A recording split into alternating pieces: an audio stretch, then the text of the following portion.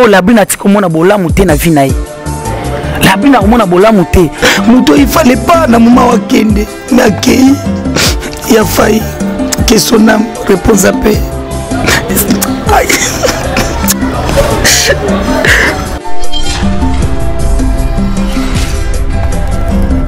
biso nyonso baartiste congolais tokuta na aéroport aéroport de njili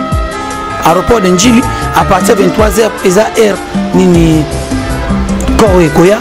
tolela jani et puis il est aidé tozala na musée so déjà na nga azalaki na délégation oyo représente chikshok loyenge merci na président na nga jaja ngayos merci na arrivé ya mare valavala na confiance kopesi nga président na nga tozalaki na président masumu na président euh, elombe tosoja na musée mpo na lede veille mortuel eza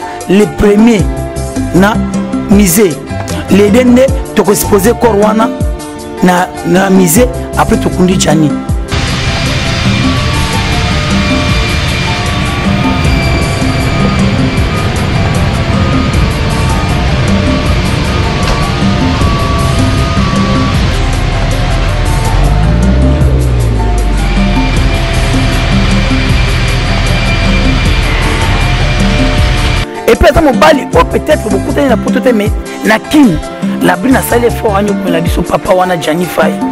papa na ndi star papa na lasconi akei c'est-à-dire ke papa na debora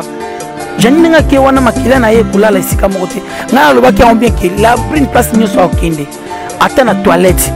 ntango asala toilette bo jani abimeli soit ye asali toilette toilette wana moto abima na kati ya toilette na ye se jani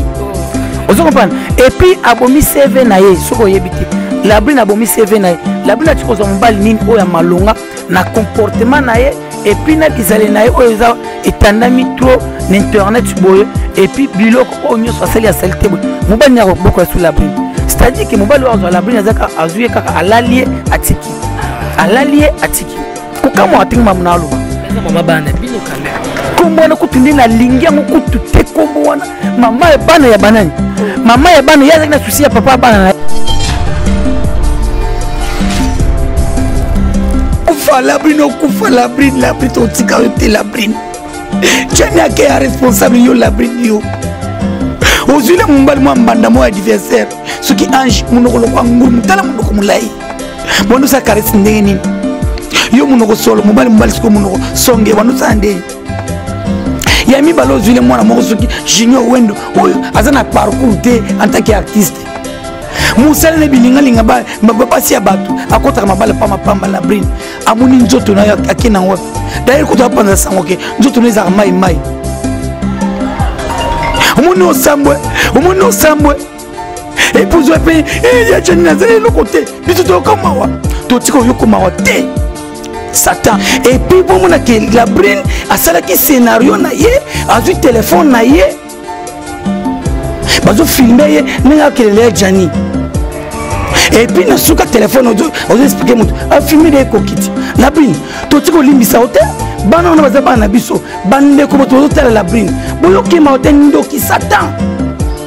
afungoli madinga misu wana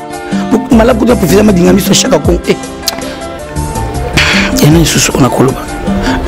me yo ayo te labrine asali théâtre na ye labrine oni yo totiko te epuis mission ekoki labrine balingaka mobali omoni peut-être akoede yo tala kitoko ata ya machepushi ate nani martin yengi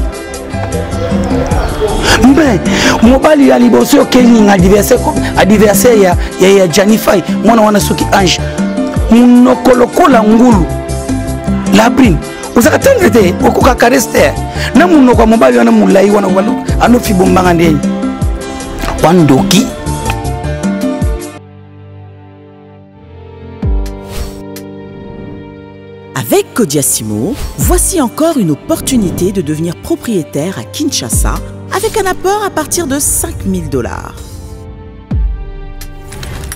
Des nouvelles parcelles en vente, des constructions déjà en cours, Antsele au bord du fleuve, Daipen, à quelques mètres du mausolée d'Étienne Tshisekedi, quartier Malébo, à Safari Beach et bien d'autres encore. Devenir propriétaire avec Codiacimo, c'est choisir d'acquérir votre bien immobilier avec un accompagnement personnalisé, allant de l'achat de votre parcelle jusqu'à l'obtention de votre titre de propriété. Avec un service après-vente assuré par notre équipe juridique chevronnée, vous êtes garanti de recevoir votre titre de propriété, peu importe votre lieu de résidence. Avec Codiacimo, vous avez la garantie d'un service clé en main. Simon La meilleure adresse pour construire la vôtre.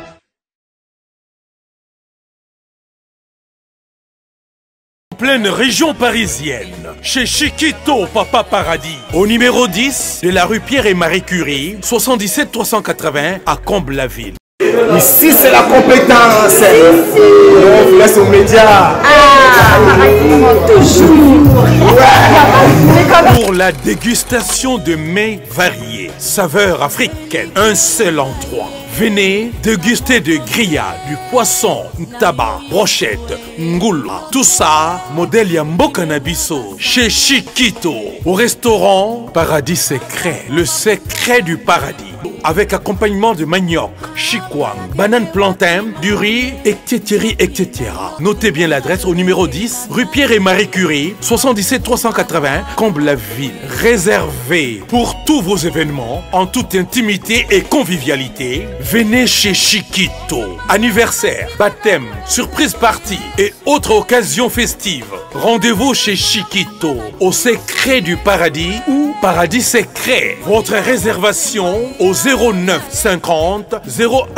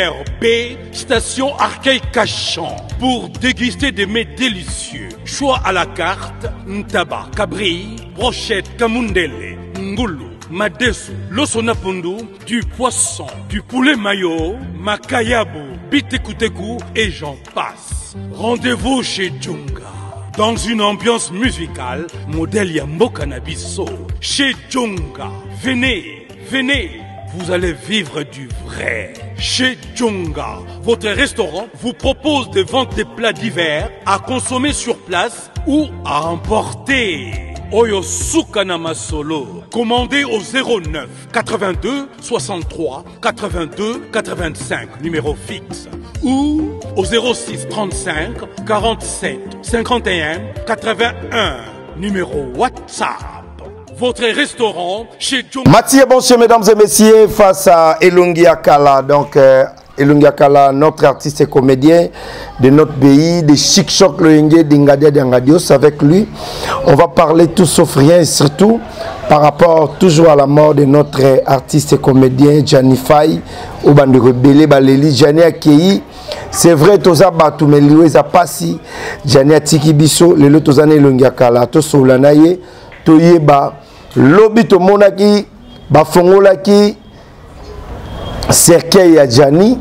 émotion na bango bacomédien oyo baza na kin ezalaki boni ndenge nini bajuge makambo nde tomonaki labrine akolela bango bamoni yango boni est ce que balimbisi ye to balimbisi labrine te on va parler ça avec elongi ya kala ye azalaki pire petit ya jani epuis batravaille groupe moko pendant temps ebele epi ye nde aza responsable ya chic choc loyenge awa na kinshasa yangadiadi yangadios groupe cher oyo jani azalaki kosala oyo abima ti akenda mikili ya poto na profite napesa merci na chris ramses le jeune producteur oyo akotala biso chris ramses merci pour tout merci ya yannick ekini ya rombox acteur ya film eh, moko te alongola bana cangu soni acteur ya film eh, yannick ekini ya rombox merci pour tout merci ya pdg mosengo mmp autrement dit tonton kolo bana semendwa oyo moto alongola basakata soni le pdg mosengo Na pesio merci notre PDG PDG Mosengo merci à tout Fiston Bulldozer l'impeccable couple Otete maman Amanda Otete na papa Timothée depuis Canada merci à Tania Moula et à Eric Maouta depuis Chicago respect à Youyou Kabwiku depuis Paris Papi Kabwiku depuis Londres London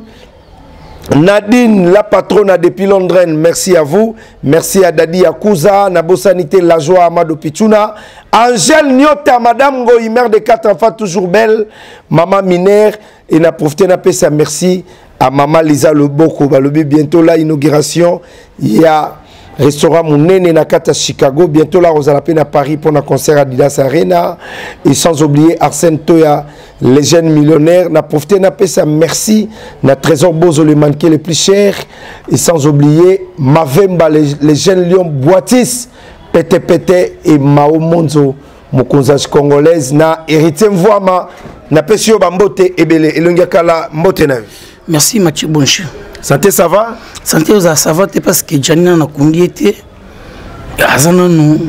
kotala image ya jani epuis kotala mpe jani auti poto akendaki poto ya koloba azoloba me azozonga ye ebembe me nzambe ayebi voilà nzambe ayebi lobi ezalaki eh, cérémonie na bacomédien tout ya poto nde tomonaki bafongoli mm, cercueil ya jani bino bo awo boza na kinshasa ntango bomonaki vraiment ke jani yango akufi mpenza ko yeyo na cercueil esali bino mboni mace nalelaki vraiment nalelaki je napesi nga mpasi ntango namoni ka cercueil na bia ya jani akufi ya jani akei aza motu moko ti sikoyo navandi awa na raisonne ka motu wana motu malamu motu ifale pa na moma wakende me akei ya fai que son âme repose à paix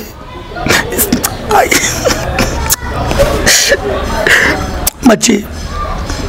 oyebi nini nafandi boye naza na kanda moko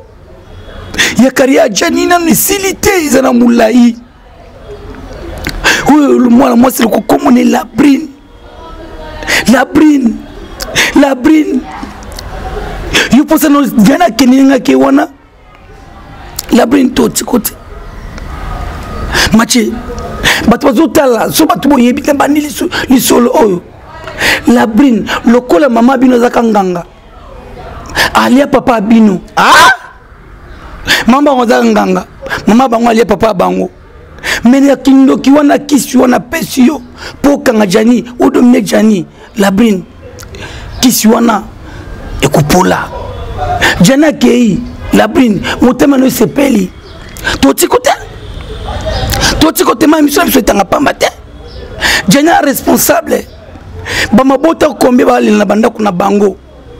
mboka mobimba monde entier balela na kombo na labrine yokasi batika batiko te labrine oyaka na susi ya jani te epuis mobali oyo peut-être okonyokola ya mobali oyo bolingana na poto soit ata na turquie soit ata na nini mais mobali bobandini na kini epuis bando futela famille na yo ndako labrine yo oza moto akonyokola jani yo labrine ndongo otalanga na minco olukaki miniature olukaki youtube osala base vanda liboso tv ndenge otalanga boye nazo explike la bring yo okozala maudit jusqu'à la fin okozala maudit jusqu'à la fin jani ayebi lisumu te jani afingaka motu te jani aloba maba ya motu te mais yo olingi sikoyo jani lelo aza etale boye epuis to rate jani na théâtre congolais to rate monima oyo tokozwa esu wapi tokozwa ye wapi selo yo labrine ofungoli miso ya minene wana mavondo wana ofongoli yango epuis libumu loko moto abela kibeka labrine yoko toza na poto mais miso ezoya minene kaka okeluka te hôpital batraita miso na wana te jana akei toti kote labrine ata place yo osuba moni place yo osuba na kibu mwasi na yo ntango osuba boyoka ti ma, nani masuba moto ebima jani moto abima na masuba nao mais tomonaki labrine lobi azolela est ce que bokolimbisa ye te namoni azolela jani na ye bandeko ya poto oyo ya bacomédien bazoboya vraiment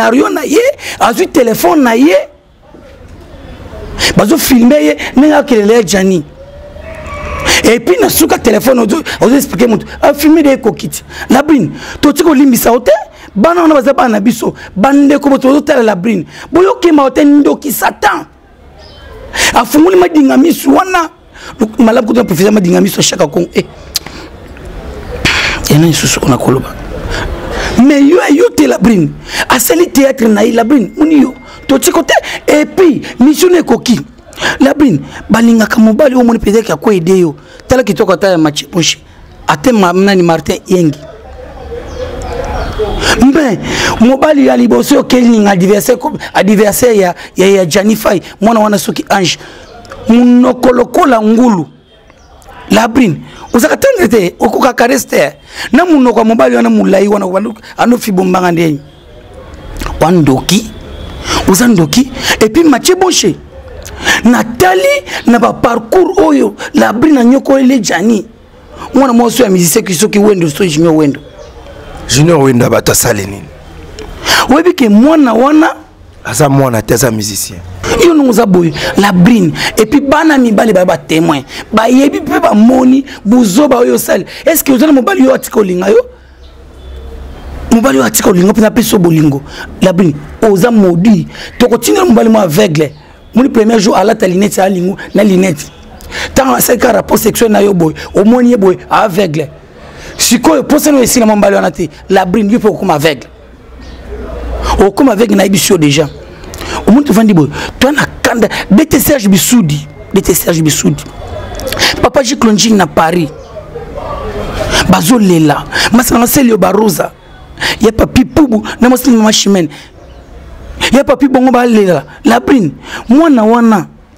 so junior wendo oka sentiment nini mpa na ye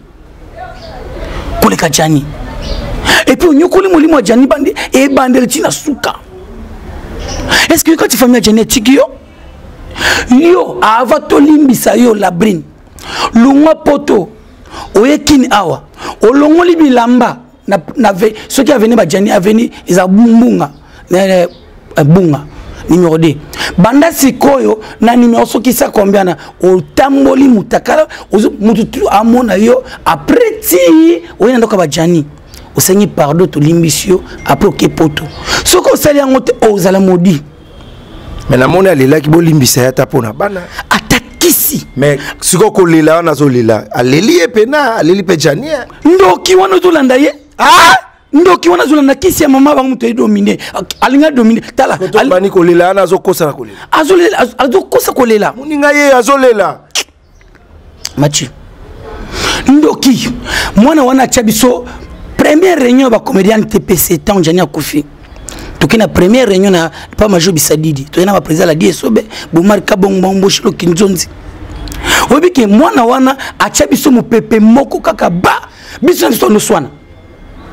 ntango tozongi na bandako toyosa discernema ke mopepe oyo moto atya biso labrine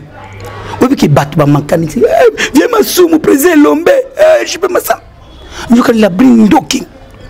atya biso mopepe mwa mystique ntango toyei kotimbele pour la deuxième fois na bino non akolonga biso te labrine toti kolimbisa yo te ata kisi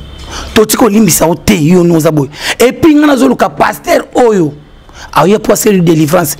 akozwa mopepe ya molili nazwi biso paster auta likwa etage ya ndako na yo ntina se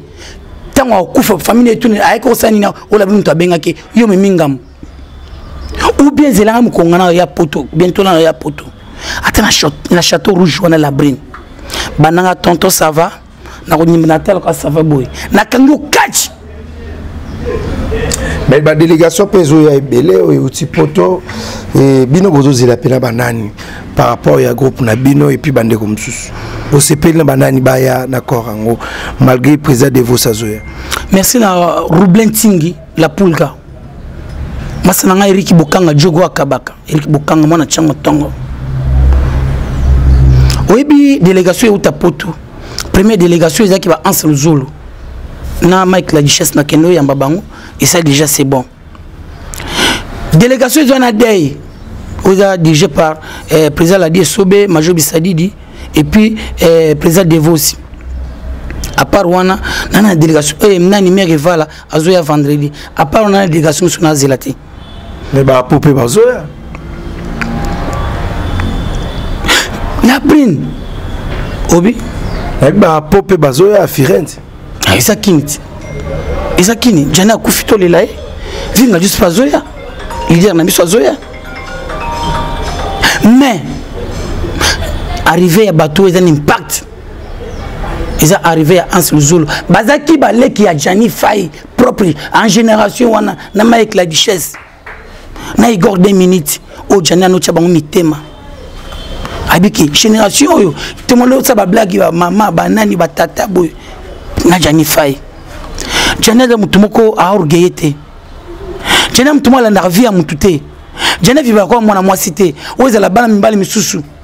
bana poto soki bayoki likambo akomi olanda yo na telefone bango balinga kaka barenseignement kwa bana basi jana azalaka bongo te mais meke vala azoya le 5 p avril toza na spectacle na chetemba yo oyo osali biso etikali elembo na motema maxi totali kolela na yo esali biso bien esali biso bien makasi oyebi vie na biso sami mokili oyebi jani depuis chikshok bovandi mbula moko na ye olobi no bien olobi no bien mais totika opekisa ateki bafinga labrine labrine aza nani aza eloko nini akwisi moto aza le nécessaire na vie jani fai apres bino bolobake mama bana na ye aza mama bana nani papa bana azalaki na susi na ye labini makolo etengama jour ya vita oyo makolo etengama nani wasala succès matyu nani jour ya vita moko boye ok kombo eya amutu ana poto epuis azolela ya jani ya jani ozotala bilongi ya bamibali na bamaneti mpo olula mobali epuis jani na bakundi ye te aza na morgue jour wana ntango azoya kolela ndio wana tosala rapport sexuel na mobali ne mosusu mwana mabe ndoki nyama aleki baluba na pite ah? aleki baluba na pite aleki bayanzi na pite aleki bamongo na pite la brine yo kombo na yo moni oyo natandeli yo dra pembe oyi verité nabengaka oni dra pembe okosuka mabe ebimba jani ezoya ti ekoma lobi machi la brune salaire erreur yaka kin epuis yo kozwa mpe moni yo tokoenvoute yo yo koya kin awa ozwa mopepe okokende ambassade car rapide oyo na yo ta baparent nanga tokutana wa nga vanaki mpo tokutana wa okozwa mopepe ya mabe oyo osali janine labini tokotika yo te soki totiki yo ozala laise seke tobanga yo totiko mal totala yo nde ozala okozala mal à l'aise na vie na yo jusqu'à la fin karine mokonzi ngai nakoatake yo te mais soki ozokota na makambo ya labrine okota na basentiment ya labrine ya fa yaki vie na yo ansi luzolo apekisi yo tika labrine akwesi monima oyo biso na baptiste tolela janine ngai elonga kala tontoni nafandi boye eske nakota atina labrine obi naloba ke mama ya bana ya banani papa ya bana ozalaki na susi na ye yo labrine mavondo lokola ndoki opumbwaka yo soki bayebi te kisi ya mama na yo oyo atikeli yo oyo na bandeko na yo travail en collaboration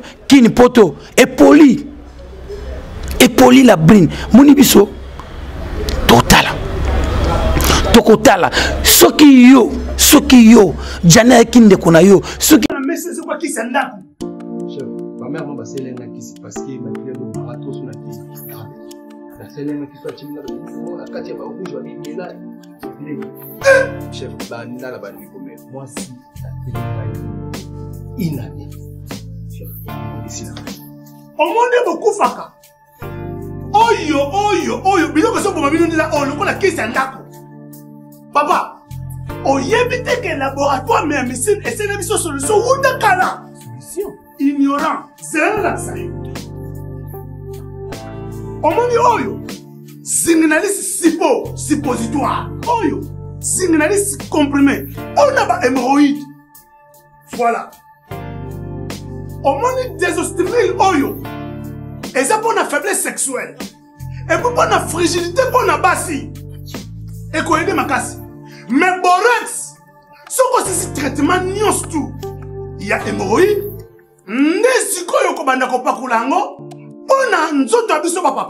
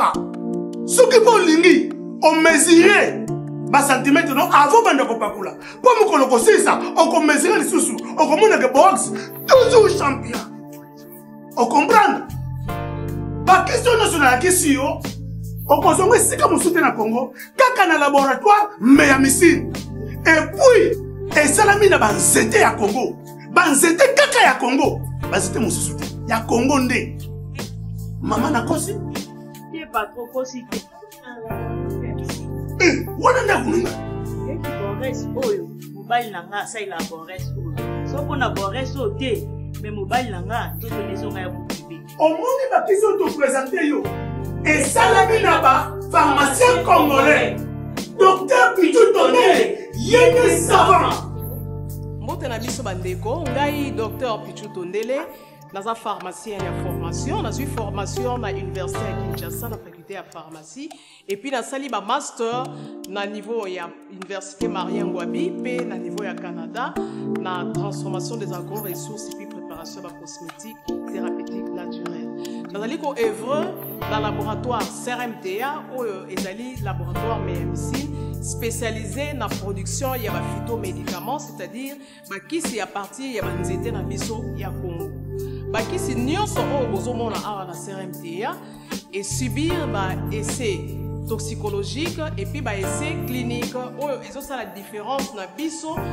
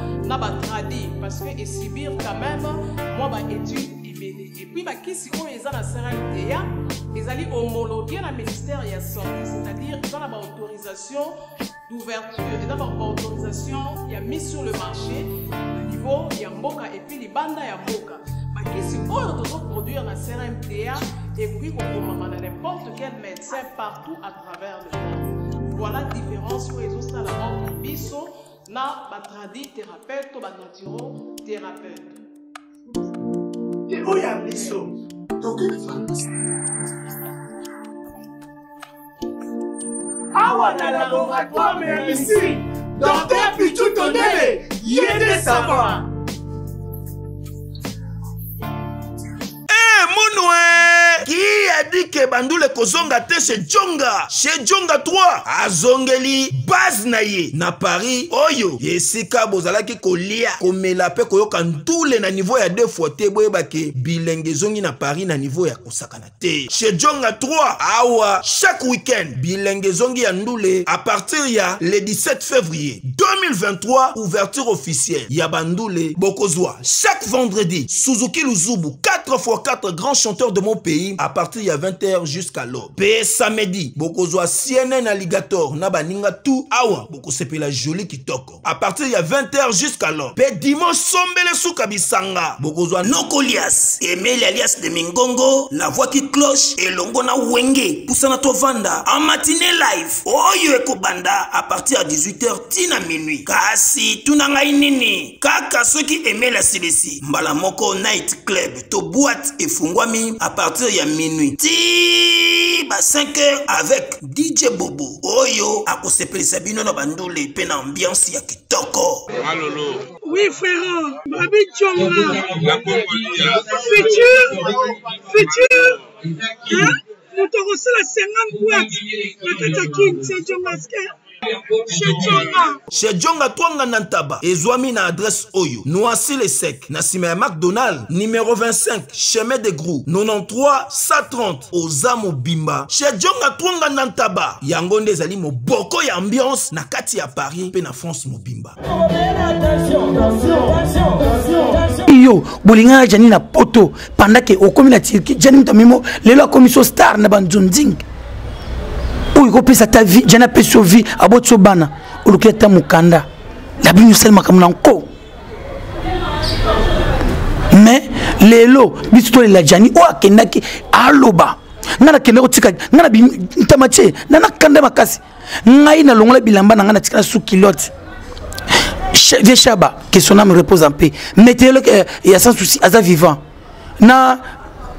chef na biso nani apo firenze na ya janifai sous classe ya kare ekufa na banda première ri bifi oyo bajeune ya 19 ya 30 na alonga bilamba na ngai napangisa kar boy kar boy tokóma na report tokóma na aéroport ah! nalobi mpe mingi pardon seki na gabi tokóma na nini na place na avion ekendaka oyo ememaka bato poto mais jani avant tokoma aéroport avant jani avoyage alobi nanga tonton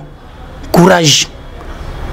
wa mwa mobali eloko osali bato ebele basali yango te mai mwana mobali oyo tosolola ne na telefone abi tonton nazoya tosala bafilme ya danze tokosala makambo ya danze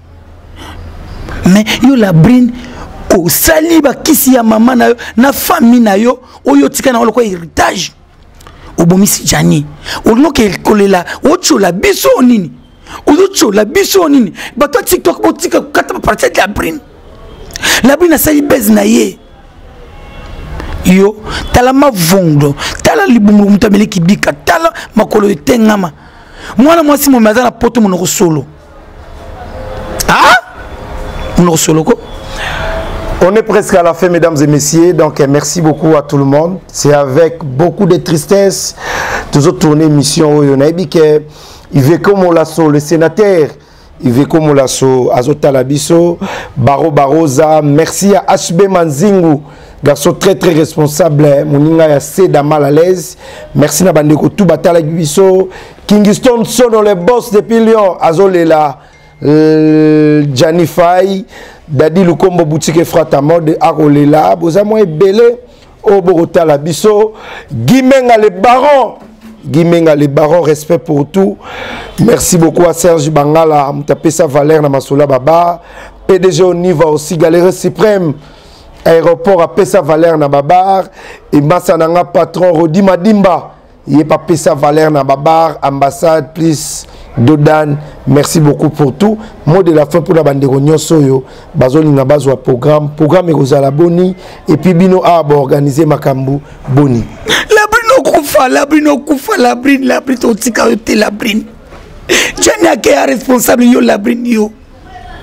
ozwile mobali mwa mbanda mwa adversaire soki ange monoko lokwa ngulu motala monoko molai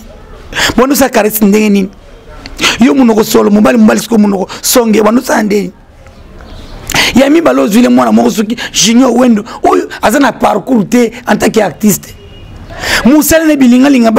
basi ya bato akotaka mabala pamba pamba labrine amoni nzoto na yo akenda yango wapi dayeri kutu apanza sango ke nzoto na ezalaka mai mai omoni osambwe omoni osambwe epuzwa mpe eh, ya janine azali eloko te biso toyoka mawa totika oyoko mawa te satan satan azo biso vie na nga gelelo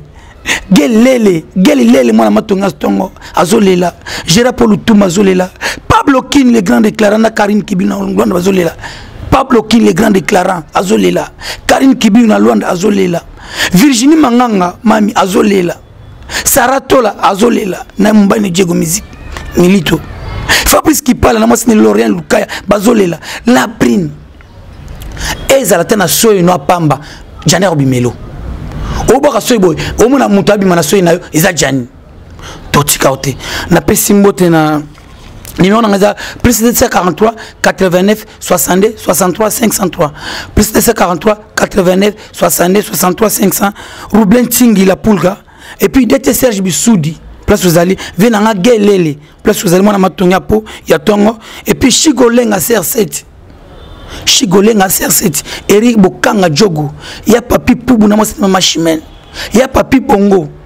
matie ngai la brine ngai mikolo nyonso nakosala ata un mwana sokolaka te nakosala un mwana sokolaka te mpo natiko libre te la brine yo kobela makwanza moko oyebi kote euti te yebaki ozala nyongo ya bato ebele kote na ngai nakweyana makwanza kote mosusu akoya pene na mapalata kote mosusu akoya tala oza na bakategori ebele ya maladi obela nzoto na yo toza no awa tokotika yo te loko yo okosi jani motu na mabele moni nga suma loba esili nabengi renfort pali te ya kanda dadi aoya mais esila te eza ndenge ya famille nakobenga lite ya kanda dadi yakawa soki tosilisi na ye yo tosilisi na ye tozwi virginie manganga ata matie matie nazoyebi soki kala mingi soki mingi niemi tika nkombo ya jani makambo osali na plateau na mwana wana soki wendo wana oyo musicien aza na parcours te aza te na vocal te na musique nga kutu bayebisi nga beta parole aza simple journaliste atuni kaka question eh, nga mpe naza simple motu nalobi kaka akangisa nkombo ya jani binemi programme eza nini de ya jani ya lobi an tpc ya président masu ya lobi jeudi lobi jeudi euh, mercredi lelo mardi lobi mercredi à partir ya 23 heures juste baptiste congolais nyonso tozala tolela jani oyo azalaki na problème motu te lobi jeudi bocomprendre kaka namoni nga na boye na émotionné nga namona yango neti kaka vendredi namona yango neti samedi oza motu fo korige yanga papa machi mais biso nyonso baartiste congolais tokuta na aéroport aéroport de njili aéroport de njili à partir 23 heures eza heure nini corps ekoya tolela jani et puis il est aidé toza na musée tosoki déjà na nga azalaki na délégation oyo représente chikchok loyenge merci na président na nga jaja ngayus merci na arrivé ya mare valavala na confiance bopesi nga président na nga tozalaki na président masumu na président euh, elombe tosolia na musée mpo na lede veille mortuel eza le premier na musée lede nde tokosepose corps wana na, na musée après tokundi jani bato tu baartiste toti koswana toti kobeta na mabaku merci na asu luzolo bo bofuti babiye na bino na maki la duchesse merci na mare evala na susi olati ya ndeko na yo vie na biso sami mokili igor 2 minutes maxi et puis euh, président ladi esobe oyo azalaki awa na major bisalili bake poto me bazoya ya josé lelonde natali bino en tout cas bozala bien nzambe alola apambola bino mais la brine omoi liboso na kibo mwasi na yo ntango osuba kosuba jani aa ntango osuba kosuba jani On est presque à la fin, mesdames et messieurs. Merci beaucoup. Balobi Bana Nanzambe Nyoso, rendez-vous les Amoko le 19 mai avec le pasteur Moïse Mbi et la réserve de l'éternel. Voilà, Torozalawana le 19 mai avec le pasteur Moïse Mbi. Basali tout ya Maison Ephraim avec le boss Eric Mukweso. oyo apesa bacongolais chance basomba biloko moins cher makambo to esalama bien toza na bino le 19 mai avec la réserve de l'éternel le pasteur moïse mbiye sans polémique sans kobanga tokozala wana tokumisa nzambe elongo mokonzi ya bavisa aza deja na kinshasa riben onembo oyo ngai nalela trop visa schengen oyo nalukaka grèce oyo nalukaka wapi bengama tie bonse na memo pa riben onembo ndeko ya nanu oyo ndembo bacongolais bolela trop riben onembo wana kin solution yango wana tokende tozwa solution ekosala vraiment très très bien merci na bandeko tout oyo balingaka biso nous on est là pour bien travailler marchal souveiller ça akotala biso merci ale adimbi mama social depuis ottawa akotala matie bonche merci na bandeko nyonso balingaka biso biso toza kaka toujours boulot toujours mosala nyonso ekokende vraiment très très bien merci ya major jérémi ngolo mokonzi major jérémi ngolo akotala biso merci na bandeko tout oyo balingaka biso saintia dondasi mokonzi ya baflat mokonzi ya baba saintia dondasi merci beaucoup lala na dondasi tout ekosala vraiment très très bien cynthia donasi nazwaka eloko otindela mpa david putu pdg oniva tomona na matanga en tout cas vraiment tiango eza ya biso ngai nalobaka ngai na mwana gombe te ngai na mwana kingasani na soki na mwana tiango na mwana tiango mais la brine la brine e eh, nazora na bandeli na masuba naonaki bomwasi na ntango osuba olie osuba masuba ozosuba nde jani voilà merci beaucoup et merci beaucoup na bandeko tu batali biso merci à trésor milgenda bambote ebele ebele ebele ebele tokutana mbala nsima à la prochaine bye